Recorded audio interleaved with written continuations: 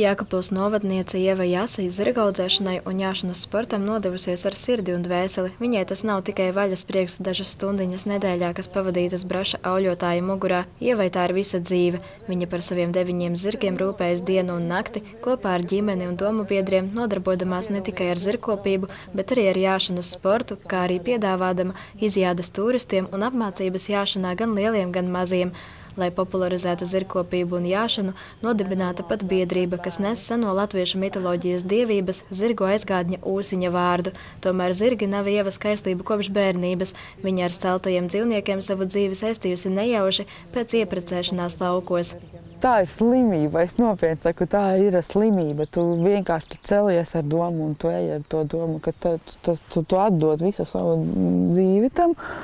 Nu, protams, arī vispār ar lopiem, ja es pilsētniece ienākdama vispār neko nesapratu no 20 gados. Es ienācu laukos un es, man, es visu laiku dzīvoju pilsētā mājā. Tev nekādas saprašanas nav. Tad tagad 11 gadu laikā man ir ļoti liela pieredze. Es lauksaimniecībā es esmu ļoti daudz izmācījusies un mācos. Ar zirgiem Ieva, kā viņa pati saka, saslima, kad viņas vecāka viņai nopirka pirmo zirgu, Dendiju. Nu jau ķēve ir 12 gadi, un Dendija pašlaik var lepoties ar šogad 14. februārī pasaulē nākušo meitu Afrodīti. Dendija ir praktiski no visiem zirgiem visuniversālākais zirgs, jo ar viņu gan var ratus jūgt, jūgt ratos var braukt, gan bērnus var apmācīt jāt, gan var profesionāli piedalīties sacensībās. Viņai ir lekusi metru desmit pagaidām. Neko vairāk neesam no viņas prasījuši, bet kā bērnu apmācību zirgs vienkārši ir ļoti ideāls. Patīk. Nu, ir arī bērniem jāmāk sastrādāt ar viņu, bet tā viņa ir ļoti laba, ļoti pateicīga zirgs. Man praktiski vislabākais zirgs, kas man ir pagaidām, kas dara visus darbiņus. Jo man gribās strīties abām divām. Un tu esi mammas meita, jo tāda paša tā kā mamma. Nu, cik mīļi tur atnāk tevi samīļo. Laba, laba, laba. Laba, tas būs ļoti skaista dendija. Tāpat kā katram cilvēkam, arī katram zirgam ir savs stāsts. Ievai vispilgtākās un arī sāpīgākās ir atmiņas par viena zirdziņa, mājas likteni. Ķēvīti viņa nopirka no čigāniem, tādējādi izglābdama zirgu no turpmākām ciešanām. Zirgs bija ļoti sists. Sists, un viņai tur nevarēja pieiet klāt, nevarēja viņu paglaudīt. Viņa ļoti baidījās visu laiku. Zirdziņš bija ļoti iedauzīts stāvējusi bija kūtī, piesieta šitā visu dienu. Nu, kā es iegāju pirkt, es redzēju, ka viņa stāv. Un, un nopērkot, tad nu, 3-4 mēnešu laikā zirgs tagad ir tāds mīļākais. Nu, mīļ, mīļ, mīļš zirciņš stalī. Viņa ar bērniem ļoti, viņu mēs iestrādājām. Tā tev ir sapucēta un atkopta un tur pucējam visu laiku. Tikai nedrīkst kauties. Kandi, ej, ej. Nu, nu, nu, nu, nu, nu. Nu, tagad redzēsiet, kā viņi ļoti nelabi uzvedās. Viņi nevar sadalīt parasti. Izkaujās.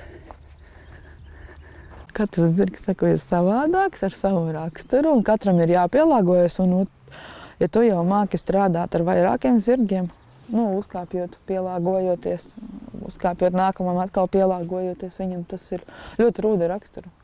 Bērnam vispār, bērni, kas jā, nodarbojas ar jāšanas sportu, tur ir nu, tādam spēcīgam bērnam jābūt, lai ļoti daudz bailes jāpārvar. Ir kā negribās darīt, bet tu to dari uh, pēc tam skolā tas pats. Ja tu negribi, bet tev liekas, ja es to varu ar zirgu, kāpēc es to nevaru kaut kādās mācībās vai vēl kaut ko. Un tu rūdi to raksturu, to veido raksturu.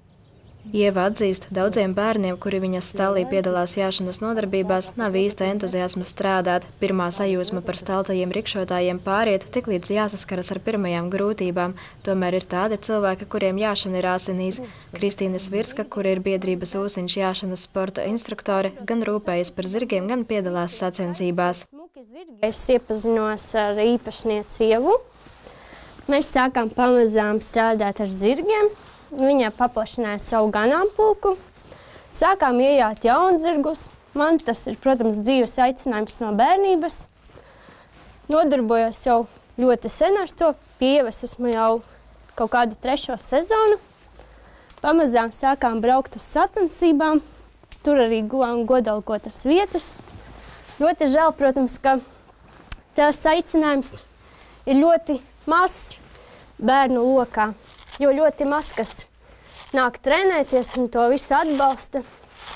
Tāpat arī īstenībā sponsoru nav nekādu, jo cik daudz pats var ar saviem spēkiem izdarīt, tas arī ir Jau zirgu turēšana vien prasa lielu naudu, gan ēdiens un vitamīni, gan potes un zāles, bet vēl lielāki izdevumi nepieciešami jāšanai, jāmaksā par dalību sacensībās un par zirgu transportēšanu uz un no sacīkstēm, nemazums līdzekļu aiziet arī aprīkojumam un apģērbam. Turklāt ievai vēl nākušas klāt papildu rūpes, jāatjauno un jāapsaimnieko nesen speciāli zirgiem iegādātais īpašums Jēkabils novada ābeļu pagastā, lai uzturēšanās stallī un tā apkārtnē būtu patīkama gan pašiem zirgiem un saimniekiem, gan turistiem turistiem un apmeklētājiem.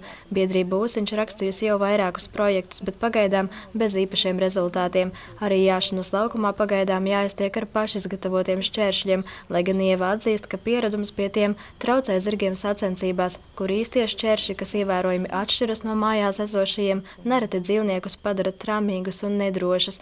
Tomēr par spīti grūtībām Ieva Jase un citi biedrības Ūsiņš pārstāvji ar mīlestību un lepnumu turpina savu misiju – popularizēt zirgaudzē slēpēšanu un jāšanas sportu, apmācot citus un pašiem piedaloties sacensībās, kurās nereizi vien saulītē celts Jēkabpils novads.